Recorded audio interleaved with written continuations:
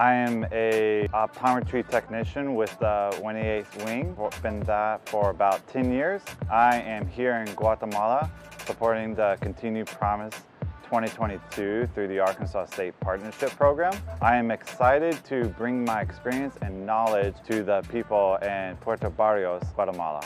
Through collaborating with the naval forces, we'll be able to exchange training and information, therefore increasing our readiness.